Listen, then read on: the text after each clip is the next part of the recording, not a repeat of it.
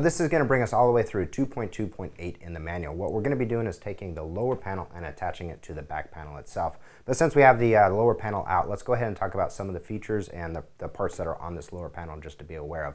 Especially in the assembly process, there are some things that can be damaged. We just want to make sure uh, that we're aware of them. We're going to talk about them a little bit later. So right here we have our 12 volt 29 amp AC power supply, AC to DC.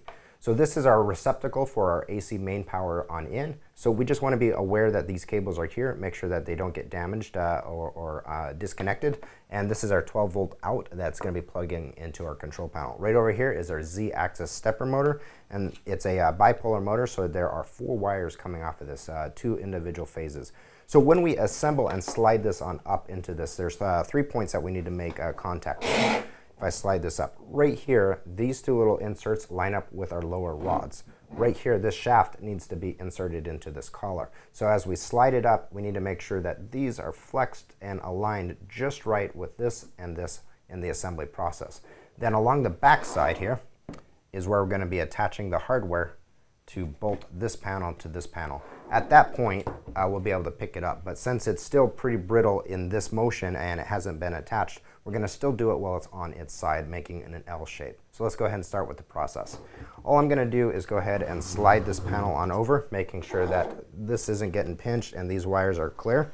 I'm going to go ahead and slide the panel in approximate position, line up this rod, line up the motor shaft into the collar, And there it is. It is pushed on in. Just like that. All right, so let's move on to the hardware from uh, Bag G or Box G that we were talking about before. So we've got some 157s, which are these bigger machine fine thread screws that we used right over here, the same screws that were on the top of the rods. They actually go right here onto the bottom of the rod, and the instructions, it gives you a real clear indicator where they go. So they're gonna just thread in right over here. Along the back panel, we've got a bunch of 153s that come right over here, the coarse threads, and tighten it up. But there is a process that I want you to follow when you tighten this up. And, and that's going to help later on when we assemble the rest of the panels that make sure everything fits nice and tight and is trimmed and square and true. So tighten these up first. Go ahead and install these, tighten these rods up and it's going to pull it nice and tight this way. Install the screws into the back, but don't tighten them to the point that they're touching, just close. Once you're at that point, what I want you to do, and you may even want to ask a helper, make sure you're on a nice flat surface, and you're going to want to make sure both these components are, are touching flat so that it's a square trim along the bottom, and, and push into this so it's nice and tight. The square that you can get the base plate to the back plate, the rest of the panels and the alignment of all the rods is going to be much, much smoother and easier to trim later on. So let's go ahead and start that process. These screws, these screws, hold it tight, tighten them up, and we're all set with this.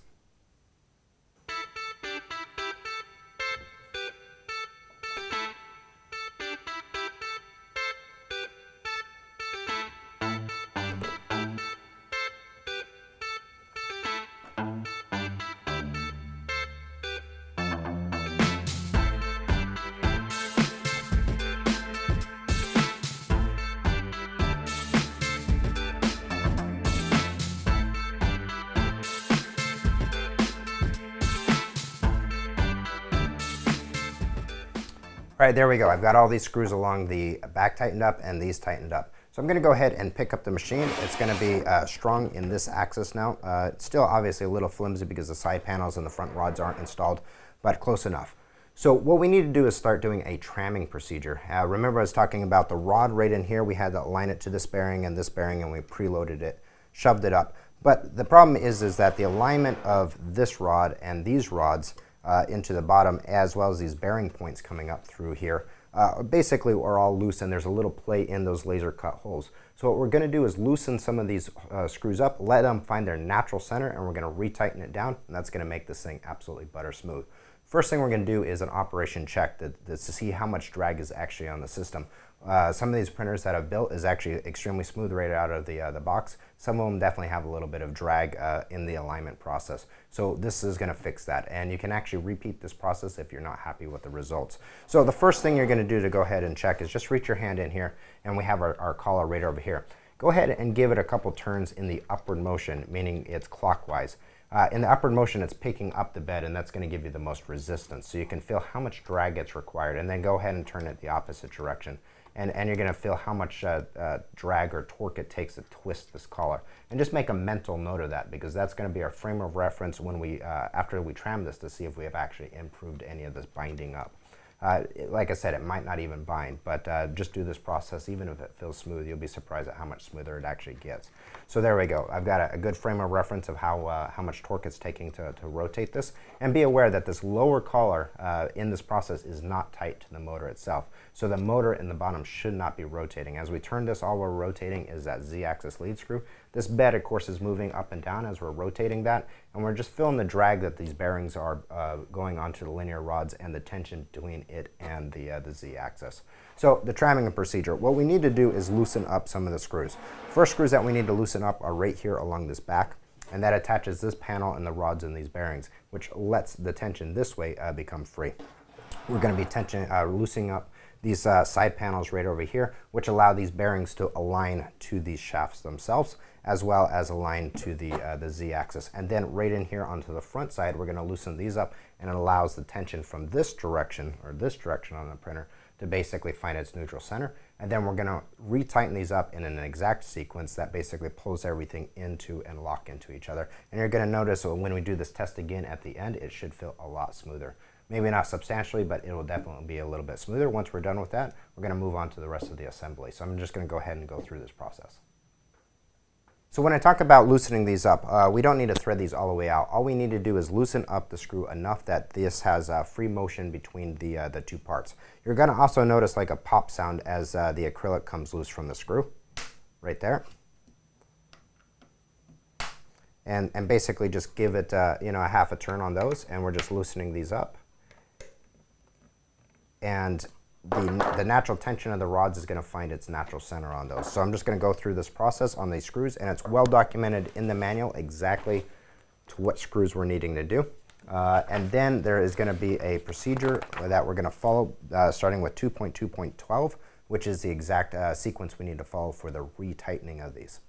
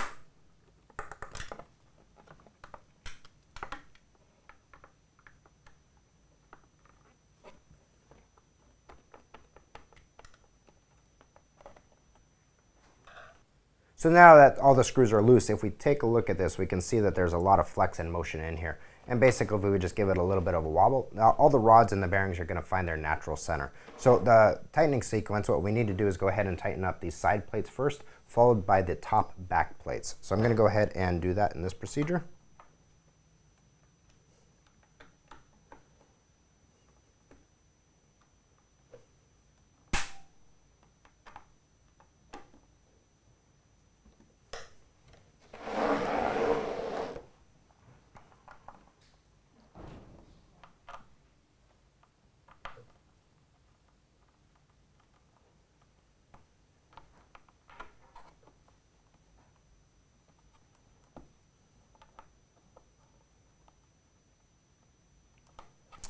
Now that pulled tension on these rods outwards. Uh, now we're going to tighten up these uh, screws right along the backside, which is going to tram it this way.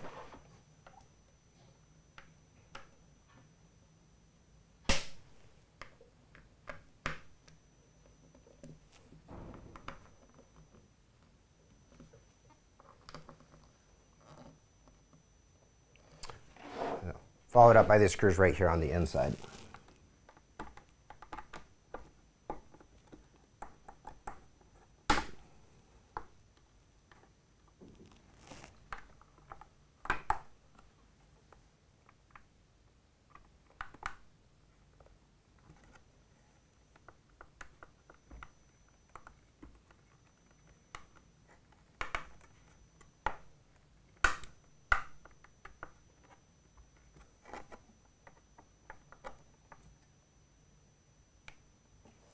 There we go. Now the final one, we need to do a little bit of what we did already before, which is preloading this Z-axis shaft.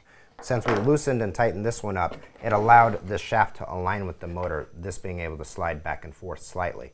So we need to get that preload back on there. So I'm going to make sure that these are good and uh, loose, and I can actually feel the play. You can hear it in this machine as I lift up on it right there, that's the preload we want to take out of that. So I'm going to go ahead and just kind of lift up, almost even holding up the machine, and just tightening up these back ones right here.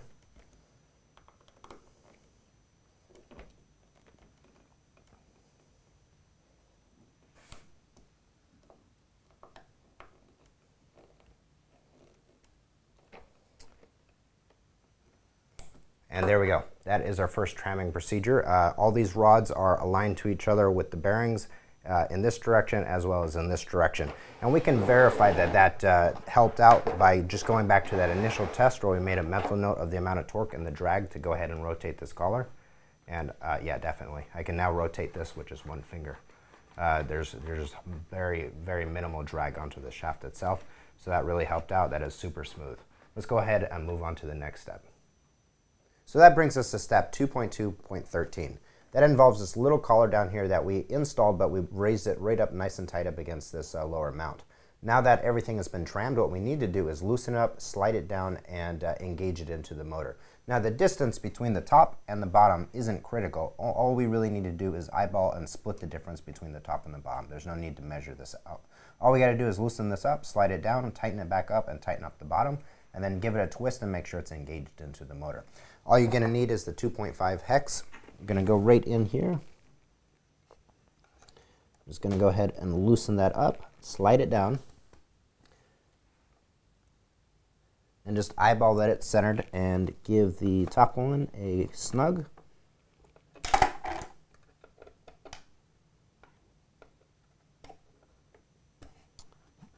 Rotate it so I can get to the bottom collar.